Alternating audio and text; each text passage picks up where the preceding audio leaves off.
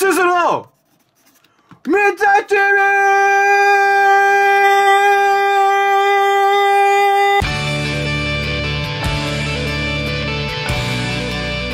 さあ、というわけで、全国中新潟でお世話になった月刊新潟ウィークさんが本日発売するということで、新潟県で実はすすってましたシリーズファイナル。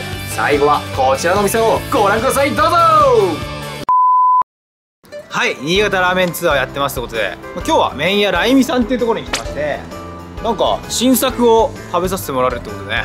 早速いっちゃうぞ!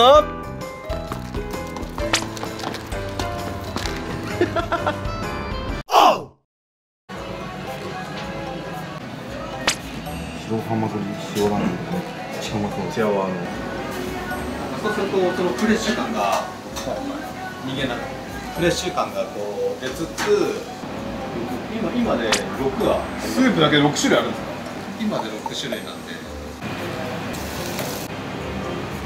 下から網でこう炙ると、はい。こう垂れてあのー垂れたその煙味になっちゃうんですよ、うわ結構すごいボリューミーですね。すげえ。精進さんに負けないように。いやいやいや。はい、いただきます。ありがとうございます。はい、ます。いただきます。もちもちしててあっしいスープからでしょはいなんかすげえ。あ、ついけどうまい。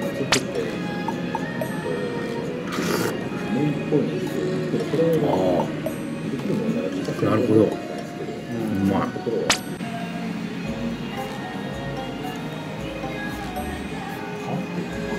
タコ丼買わないですかチャーシューもしっかり一枚入ってプラスワンタンだから強そうなのあん。な。これワンタン1個に入ってるうん。あうまい。あ、うまいな、これも。いや、ワンタンなのになん。か噛み応えがすごい。なん。か、ペロンペロンのワンタンじゃなくてさ、ギュッとしてるけど、皮も強い。皮が強い。あ強い皮が強い。皮が強いうん。おお。みたいなプラススープにくぐらせてな、これ。プチシュークリームみたいじゃないの？ね。プチシュークリーム。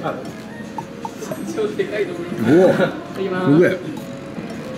お。じゅわっとくるよ。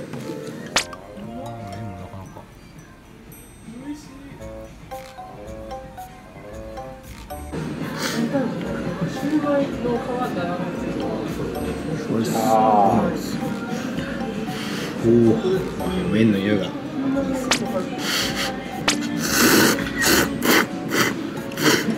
ん。すごいこぶチャーシューうまっ。うん。後で揉めるい若い子とかいや本当若いなと思って。チュルンチュルンな感じがすごいうまい。ね。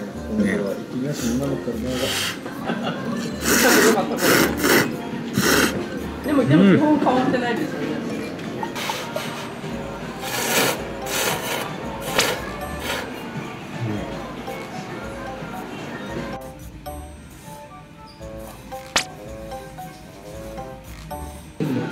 かわいい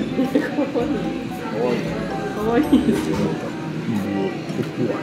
いやーもう新潟ラーメン食べ歩き最後は麺屋ライミさんでやってきたんですけどもスープは鶏の出汁が優しめででも醤油が結構立っていたので僕は結構好みなスープでしたね、うん、でワンタンは結構しっかりと皮も強めそして中の肉も結構ギュッと詰まっていてあのワンタンは結構美味しいですね。いやーもう新潟でこんなラーメンを食べられるとは思ってなかったんで楽しかったですね。